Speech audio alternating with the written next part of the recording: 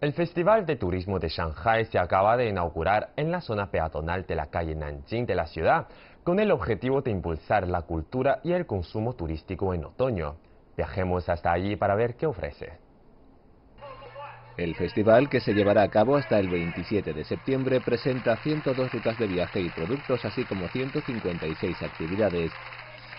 Compañías como el grupo Trip.com, Meituan y Paitu, así como otros gigantes de la cultura, el turismo e Internet, lanzarán actividades especiales durante las siguientes semanas con el objetivo de ofrecer experiencias totalmente nuevas para los turistas.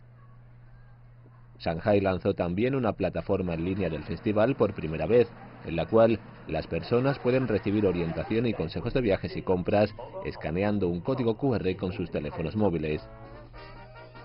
Las provincias y ciudades a lo largo del delta del río Yangtze participan de manera conjunta en el festival, estableciendo sedes especiales en las ciudades de Nantong, Wenzhou y Huangshan, lanzando actividades turísticas interprovinciales y ofreciendo productos turísticos con descuentos. Las autoridades han establecido equipos de trabajo para la prevención y control de la epidemia de coronavirus. El primer Festival de Turismo de Shanghai se celebró en 1990. CGTN en español.